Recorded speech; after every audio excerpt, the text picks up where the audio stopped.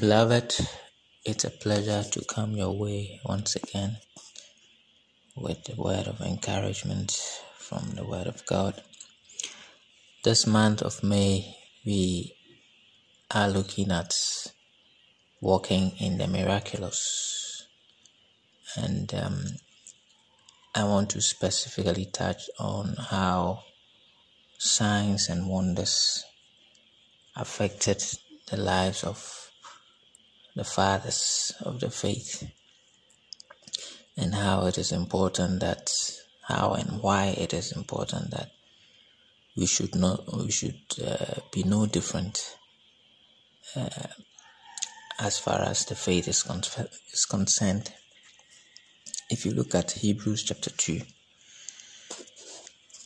um, the bible says in verse 3 that how shall we escape if we neglect so great salvation, which at the first began to be spoken by the Lord and was confirmed unto us by them that heard him?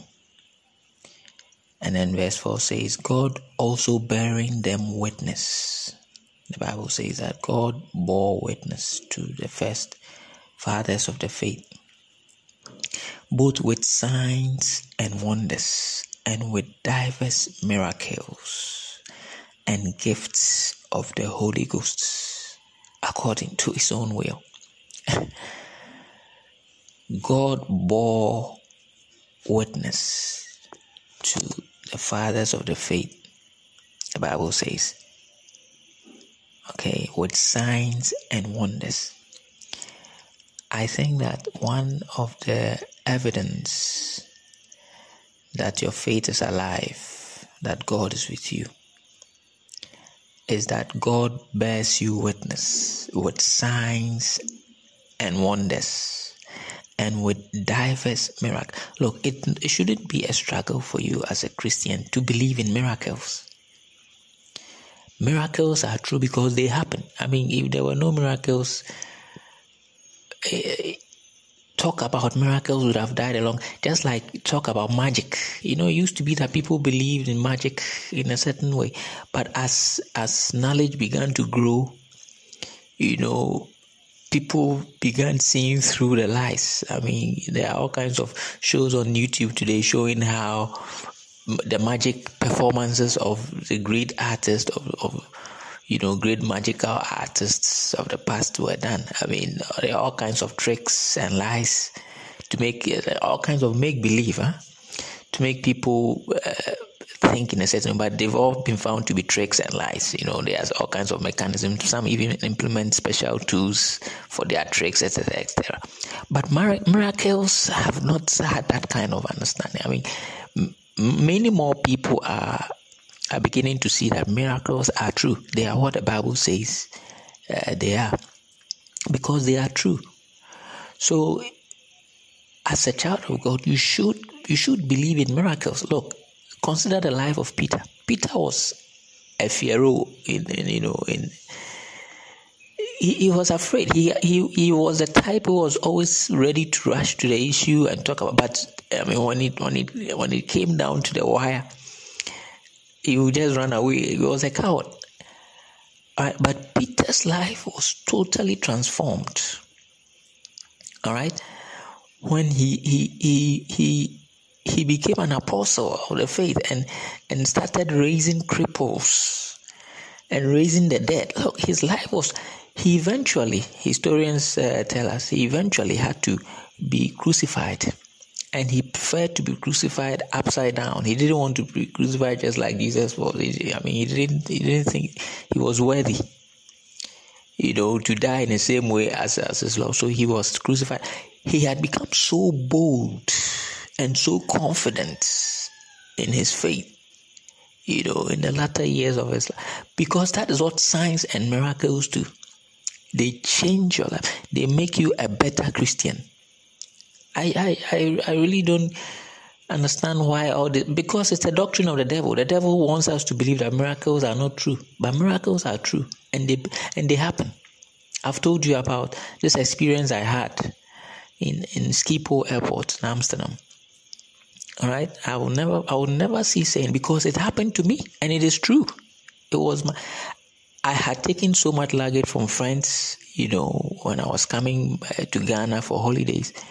I had, I mean, I was naive, didn't know what the rules were, so I didn't even weigh my bag before getting out to the airport. When I got to the airport and weighed my bag, it was overweight. And then the lady behind the counter said I had to take some things out. I mean, these were things that belonged to people, all right, in the church that I belonged. And uh, the instruction was I had to offload some. I mean, make sure my bag wasn't overweight. So right there in the open, I mean, in the open eh, airport, they asked me to open my bag and get some things out. I mean, it was a very strange experience to me. I had never experienced anything like that. So I was concerned, whose, whose package should I take out? Suddenly, an idea came to my mind to start praying, praying in tongues. So I started praying in tongues. Started praying, started praying, praying, praying. I didn't know what I was praying about, but I'll just see the Bible says when you, when you pray in this, in the language of the Spirit, it is not you who are praying, but your spirit. It is the Spirit that is praying through you.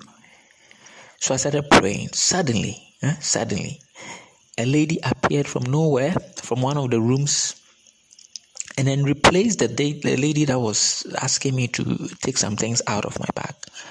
The lady motioned me to, you know, repack my things and then come, come for, for her to serve me. Maybe she was watching. I don't know. She came you know, and said, "You Africans, I know you. When it is getting to Christmas, you you overload your bag. It doesn't matter. Just pack up and then uh, and then check check in and go." The lady served me, only me, and then went away. And then the other lady who was there came back to serve the others. You know, the others who were still in the queue. It didn't like it at that moment. It didn't really. I thought it was just one of these. Uh, airport protocols or something. But later on, it, it just dawned on me that I had met an angel. I had met an angel. Miracles are real, people. Miracles are real. I want you to believe in it. If you are a Christian, a child of God, this month, look, as we are setting off with this theme, just be part of it. All right. When we ask that you fast, fast. When we ask that you pray, pray. These are the things that activate these things that we are talking. These things are spiritual things, all right? And these are the things that activate them. Be part of the spiritual activity and be be ready for a miracle. Be looking out for a miracle. And God will surely come through for you. May God bless you. God keep give you a mind that understands these things that I'm talking about. And may God grant you the grace. Experience a miracle an undeniable miracle this month in Jesus' name. Amen.